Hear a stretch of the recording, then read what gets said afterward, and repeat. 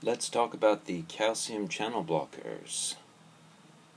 Similar drugs. The calcium channel blockers include nifedipine, nicardipine, amlodipine, as well as the class 4 antiarrhythmic agents, verapamil and diltiazem.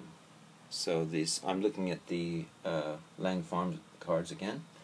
So the mechanism of action, the calcium channel blockers act by blocking the voltage-gated calcium channels of cardiac and vascular smooth muscle, thereby inhibiting the flow of calcium into the cells.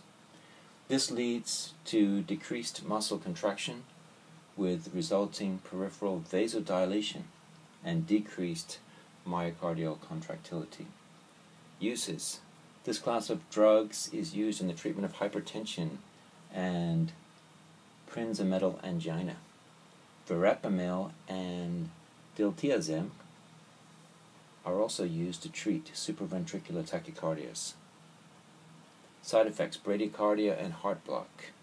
Verapamil and diltiazem. Hypertension, peripheral edema. And using caution with patients with decreased ejection fraction because of negative inotropic effects of calcium channel blockers.